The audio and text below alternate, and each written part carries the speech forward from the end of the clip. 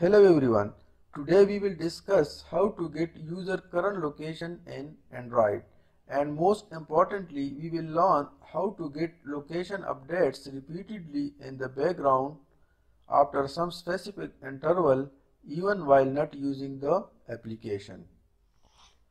So first of all I am going to explain location permissions that are required for an application to get the device location.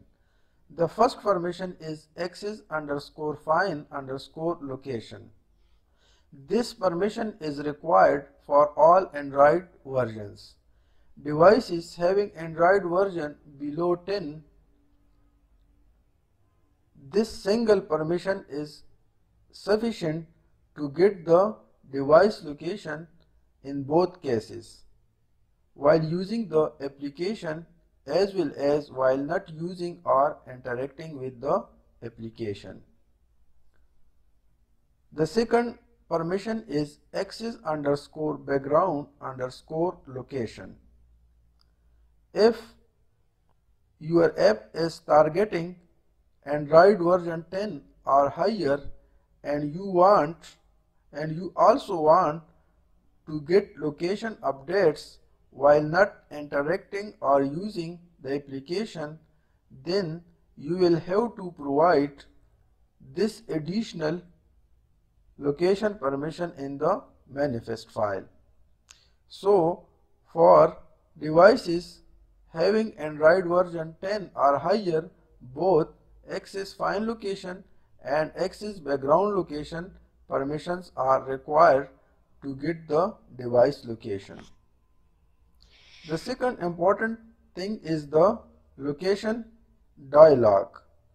If the device that you are using is having Android version 10 or higher, then these two dialog will be shown. First, you will see this dialog having three options while using the app only this time or deny the permission. Then if you click while using the app, it will take you to the location permission settings of the application. And here you can see one more option, allow all the time. So this gives more control to the user to restrict the device location for an application. And if you are testing the application on a device that is having Android version below 10 then you will see this simple dialog having only two options deny and allow. And if you allow then that permission will be sufficient to get the device location for both cases while using the application as well as while not using or interacting the application. The third permission which is required is foreground underscore service. Basically, due to battery usage, security and privacy, Android higher versions don't allow long processes in the background. So if you wanna to do something in the background, then you will have to create a foreground process. So in this case, if you uh, if you wanna to get location updates in the background, we will also have to create a foreground service. A foreground service must display a notification in the bar to keep to, to actively keep the user informed that a process is running. And if your app is targeting Android 9 or higher version and you don't provide foreground service permission in the manifest file, then it will throw an exception, security exception. Now I am giving a demo to get the things more clear. this is the application that I have developed open it and this is the main screen. There are two buttons start service and stop service. Click start service button.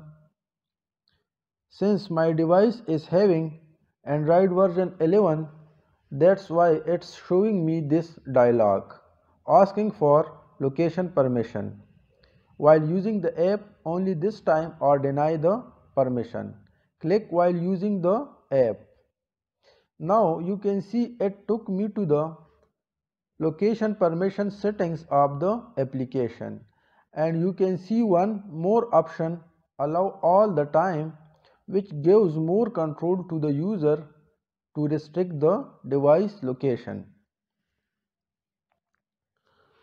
So I am choosing allow only while using the app permission and check the behavior. So select this option and go back to the application. Now start service. Now you can see it's asking that you have granted allow only while using the app permission. So if you want to get the location updates while not using or interacting with the application allow all the time permission. Since this time I am checking with allow only while using the app permission so start service anyway. Now you can see that the service has been started and I am getting the location updates. So you can see that location latitude and longitude are printing on the screen after some specific interval and I have set that interval for 3 seconds. Now I am closing the application so you can see that the location updates have been stopped. Now I am getting no more location updates. It's because that I have granted allow only while using the app permission. Now open the application again, stop service and start and start service again. Now this time I wanted to check the application behavior with allow all the time permission. So grant background permission choose allow all the time and go back to the application. Now start the service. Now this time I allowed the application for all the time. So you can see that I am getting the location per that I am getting the location updates after 3 seconds. Now I am closing the application and check the behavior. So now in this time I am not interacting or using the application and you can see that still I am getting the location updates on the screen in the form of latitude and longitude so you can see that latitude and longitude are printing on the screen.